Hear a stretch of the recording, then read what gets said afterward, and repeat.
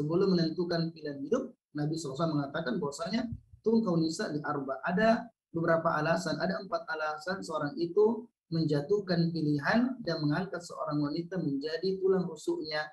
Ada karena dari sisi nasab dari sisi kemuliaan ya keturunannya.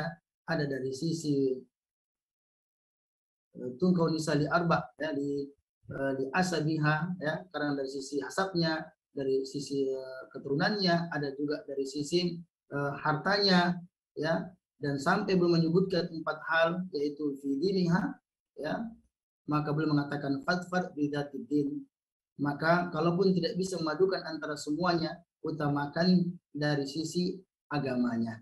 Karena wanita yang taat beragama, wanita yang religius, dan wanita yang soleha itulah yang akan menjanjikan mahligai impian sebagaimana yang diharapkan oleh seorang ya laki-laki. Maka untuk para umahat ya para akhwat sekalian yang dimuliakan oleh Allah Subhanahu wa taala ketika ia memutuskan untuk menerima proposal cinta dari seorang laki-laki dan akhirnya menjadi tulang rusuk dan pendamping dari seorang laki-laki maka pada saat itu dia harus berupaya dan menghadirkan obsesi dalam kehidupannya bagaimana dia bisa menjadi istri atau wanita yang soleha.